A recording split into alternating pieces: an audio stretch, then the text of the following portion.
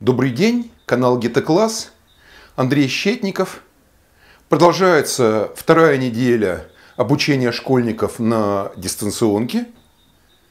И я попросил Галину Николаевну Солодовникову, учителя физики 93-й школы города Барабинска, рассказать о том, как она справляется с своей ситуацией. У нее довольно большая нагрузка, все классы от 7 до 11, как идет работа, и как в этой работе, в том числе, используется наша платформа GetaClass и наши ролики. Так что, ей слово, пожалуйста.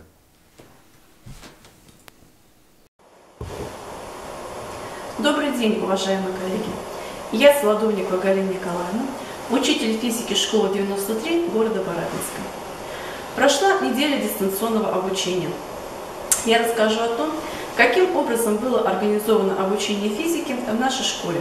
Путем использования такого интернет-ресурса, как образовательная платформа GetaClass. Несмотря на то, что данной платформой я пользуюсь с 2015 года, она очень помогает оптимизировать работу. При массовом переходе моих учащихся на дистанционное обучение возникла проблема с регистрацией школьников. Для того, чтобы школьник мог пользоваться всеми ресурсами гета-класса, его нужно зарегистрировать. Для этого на электронный адрес школьника высылается письмо приглашения, которое нужно принять и пройти по ссылке. За короткий срок нужно было зарегистрировать порядка 250 человек.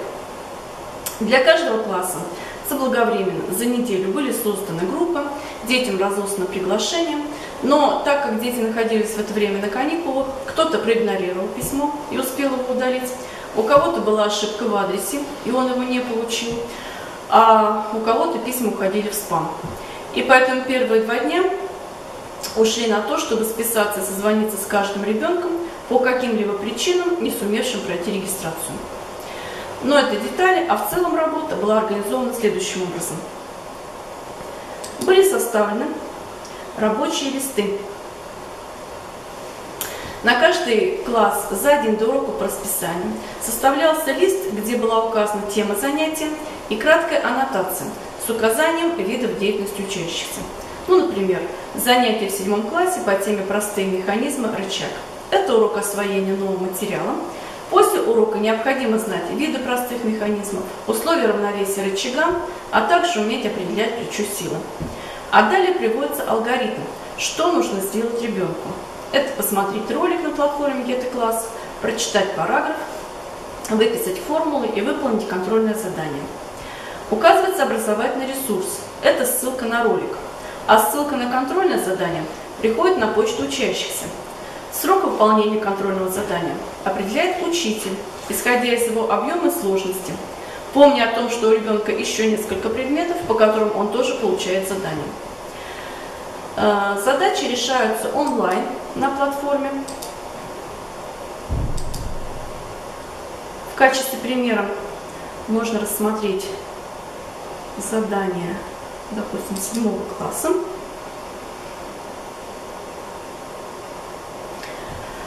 Проверка производится автоматически, система присылает отчет о выполнении задания. Как я веду физику во всех классах с 7 по 11, такая оптимизация работы экономит время на составление заданий и особенно на проверку. И помогает, позволяет оперативно контролировать ситуацию, как у меня в целом класс усвоил тему, как справился с заданием каждый ребенок,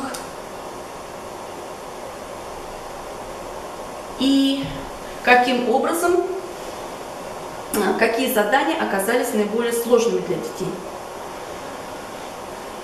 И также можно